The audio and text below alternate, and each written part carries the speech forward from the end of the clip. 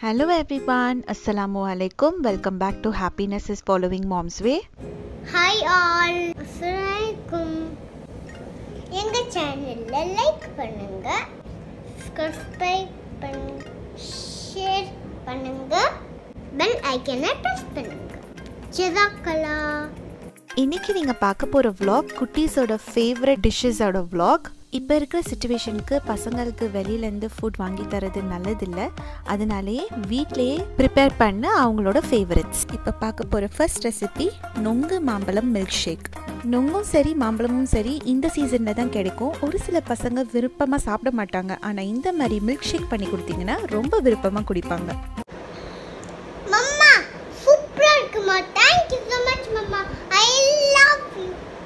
இதோட செய்யும் முறையை பார்க்கலாம். ஒரு பாத்திரத்தில் நூற்றி எழுபத்தஞ்சு கிராம் சர்க்கரை எடுத்துக்கோங்க. அதோட பத்துலேருந்து பதினஞ்சு அளவுக்கு நொங்கு எடுத்துக்கோங்க. நொங்கு நல்லா கூலாகிற அளவுக்கு பிசைஞ்சு விட்டுக்கோங்க.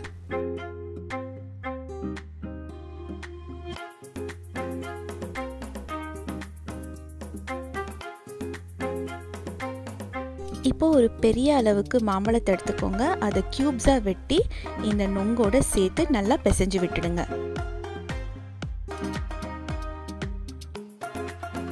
இப்போ இதில் ஒரு லிட்டர் அளவுக்கு கொதிக்க வச்ச ஆற வச்ச பாலை சேர்த்துக்கோங்க. சர்க்கரை நல்லா கரையிற வரைக்கும் நல்லா மிக்ஸ் பண்ணி விட்டுக்கோங்க. இந்த மில்க் ஷேக்கை ஃப்ரிட்ஜில் வச்சு சில்லுனும் குடிக்கலாம் இல்லை ரூம் டெம்பரேச்சருக்கும் வச்சு குடிக்கலாம். பசங்களுக்கு கொடுத்ததுனால ஃப்ரிட்ஜில் வைக்காமல் கொடுத்தோம். நம்ம அடுத்து பார்க்க போகிற ரெசிபி போல்கா டாட் கடல் பாசி புட்டிங். கடல் பாசியும் பொதுவாக பார்த்தீங்கன்னா பசங்களுக்கு ரொம்ப பிடிக்காது. பட் ஜெல்லின்னு சொல்லி ஒரு சில பசங்களை ஏமாற்றி கொடுத்துடலாம். ஆனால் இதில் சாக்லேட் நம்ம ஆட் பண்ணியிருக்கிறதுனால எல்லா பிள்ளைங்களுக்குமே ரொம்ப பிடிக்கும்.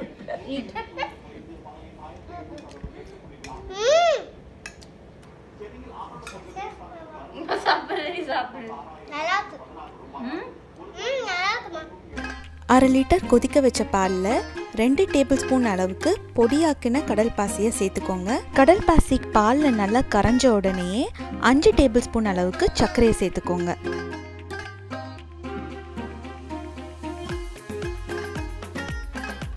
நல்லா மிக்ஸ் பண்ணி விட்டுக்கோங்க. மிக்ஸ் பண்ண பிறகு ஒரு டேபிள் ஸ்பூன் அளவுக்கு வெண்ணிலா எசன்ஸை சேர்த்துக்கோங்க. இந்த பால்லேருந்து நாலு டேபிள் ஸ்பூன் அளவுக்கு பாலை தனியாக எடுத்து வச்சுக்கோங்க போல்கா டாட்ஸ் பண்ணுறதுக்கு அப்புறம் மிச்சம் இருக்கிற பாலை ஒரு சின்ன மோல்டில் ஊற்றி வச்சுக்கோங்க. ஒரு முப்பது நிமிஷத்துக்கு இது செட் ஆகுறதுக்கு விட்டுடுங்க. ஒரு பாத்திரத்தில் சின்ன சின்ன ட்ராப்ஸாக ஊற்றிக்கோங்க இது போல்கா டாட்ஸ்காண்டி இது ஒரு பத்து நிமிஷம் செட் ஆக விட்டுடுங்க. வேறு பாத்திரத்தில் அஞ்சு டேபிள் ஸ்பூன் அளவுக்கு சர்க்கரை ரெண்டு டேபிள் ஸ்பூன் அளவுக்கு பொடியாக்குன கடல் பாசி ரெண்டு டேபிள் ஸ்பூன் அளவுக்கு கொக்கோ பவுடர் சேர்த்துக்கோங்க. இந்த மிக்ஸை அரை லிட்டர் கொதிக்க வச்ச பாலோட சேர்த்து நல்லா மிக்ஸ் பண்ணி விடுங்க. எந்த லம்ஸும் இருக்கக்கூடாது.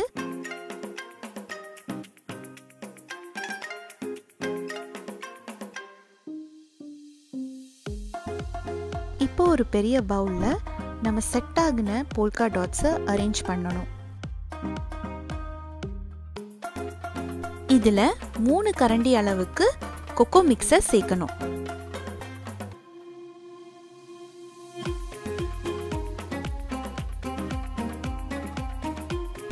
ரொம்ப மெதுவாக வெள்ளைக்கடல் பாசியை பவுல்லேருந்து எடுத்து அது நடுவால் நம்ம பெரிய பவுலில் ப்ளேஸ் பண்ணணும். மிச்சம் இருக்கிற கொக்கோ மிக்ஸை இப்போ இதுக்கு மேலே சேர்த்துக்கலாம்.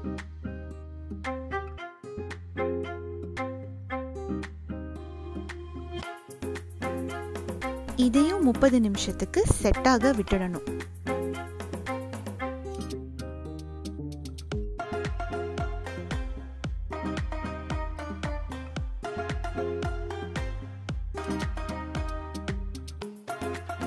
நம்ம அடுத்து பார்க்க போகிற recipe chicken shawarma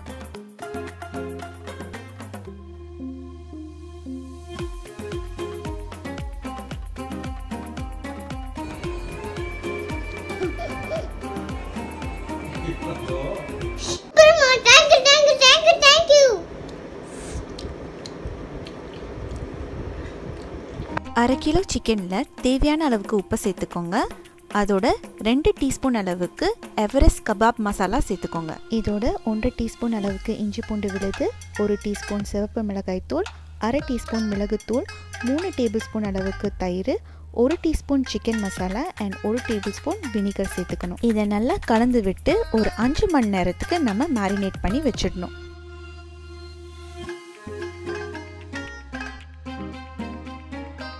beta bread செய்கிறதுக்கு அரை கிலோ மைதா மாவில் ஒன்றரை டீஸ்பூன் அளவுக்கு ஈஸ்ட் சேர்த்துக்கோங்க. அதோட தேவையான அளவுக்கு உப்பு ஒரு டீஸ்பூன் சர்க்கரை ரெண்டு டேபிள் ஸ்பூன் அளவுக்கு எண்ணெய்.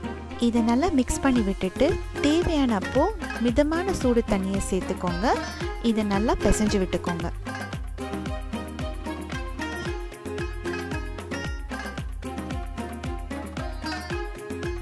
மாவு நல்லா சாஃப்டாக இருக்கணும். இப்போ ஒரு டேபிள் ஸ்பூன் அளவுக்கு எண்ணெயை எல்லா பக்கமும் படுற மாதிரி மாவில் தடவி விட்டுக்கோங்க. இதை ஒரு மணி நேரத்துக்கு ஊற போட்டுடுங்க.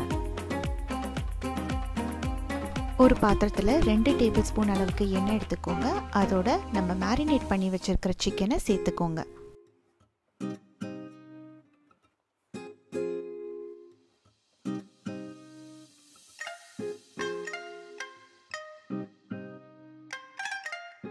வெள்ளரிக்காவை நறுக்கி வச்சுக்கோங்க ஸ்டஃபிங்க்கு சிக்கன் ஃப்ரை பண்ணுறதுக்காண்டி ரொம்ப எண்ணெய் சேர்க்கக்கூடாது. இது வந்து ஆல்மோஸ்ட் ட்ரை ஃப்ரை பண்ணுற மாதிரி தான் இருக்கணும்.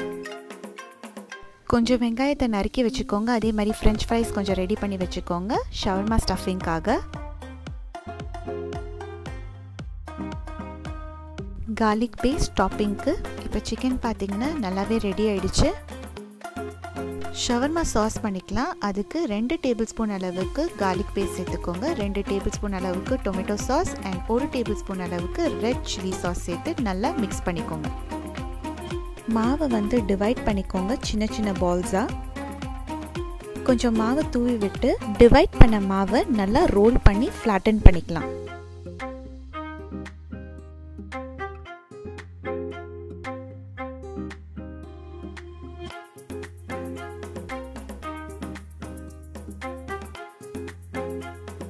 அட்டன் பண்ண ப்ரெட்டை நம்ம லோ ஃப்ளேமில் ஒரு பேனில் சேர்த்துடலாம்.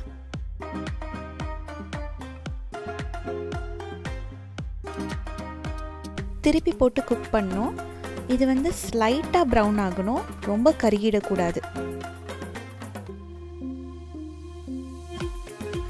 பீட்டா பிரெட் ரெடி ஆயிடுச்சு. இது மேலே ஷார்மா சாஸை சேர்த்துக்கலாம். அடுத்தது சிக்கனை சேர்த்துக்கலாம். இதுக்கு மேலே வெங்காயம் வெள்ளரிக்காய் ஃப்ரெஞ்ச் ஃப்ரைஸ் அப்புறம் கார்லிக் பேஸ்ட்டையும் சேர்த்து இதை மடிச்சுக்கலாம்.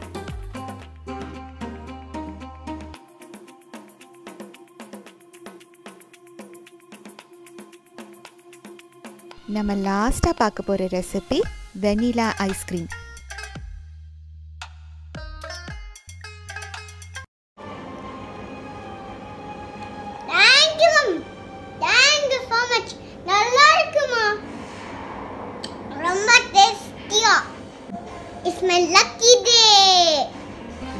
லிட்டருக்கு அமுல் ஃப்ரெஷ் க்ரீம் எடுத்துக்கலாம். அதோட நூற்றி ஐம்பது கிராம் அளவுக்கு ஐசிங் சுகரை சேர்த்துக்கலாம். இந்த க்ரீமை இப்போ நம்ம பொறுமையாக ஒரு பீட்டரை வச்சு பீட் பண்ணணும். சர்க்கரை வந்து க்ரீமோட நல்லா கரையணும்.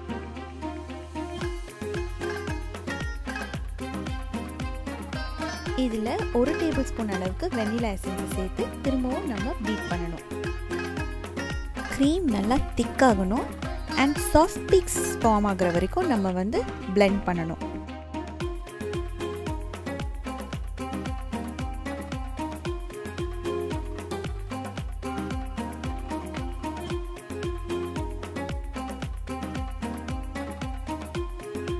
இப்போ டெக்ஸ்சர் பார்த்தீங்கன்னா நல்லா சாஃப்ட் அண்ட் க்ரீமியாக இருக்குது இப்போ இந்த க்ரீமை நம்ம ஒரு ஐஸ்கிரீம் மோல்டுக்கு ட்ரான்ஸ்ஃபர் பண்ணிவிட்டு ஒரு எட்டுலேருந்து பத்து மணி நேரத்துக்கு நம்ம ஃப்ரிட்ஜில் வச்சு ஃப்ரீஸ் பண்ணிக்கலாம். குட்டீஸுங்களுக்காண்டி செஞ்ச எல்லா ரெசிபீஸுமே ரொம்ப சூப்பராக இருந்துச்சு. நீங்களும் இந்த ரெசிபீஸை ட்ரை பண்ணுங்கள் அண்ட் உங்களோட கமெண்ட்ஸ் எங்களுக்கு போஸ்ட் பண்ண மறக்காதீங்க. தேங்க்யூ ஃபார் வாட்சிங் ஜசாக்கெல்லாம் எங்கள் சேனலில் லைக் பண்ணுங்கள் சப்ஸ்கிரைப் பண்ணுங்கள் ஷேர் பண்ணுங்கள் அண்ட் கீழே இருக்கிற பெல் ஐக்கனை ப்ரெஸ் பண்ண மறந்துடாதீங்க.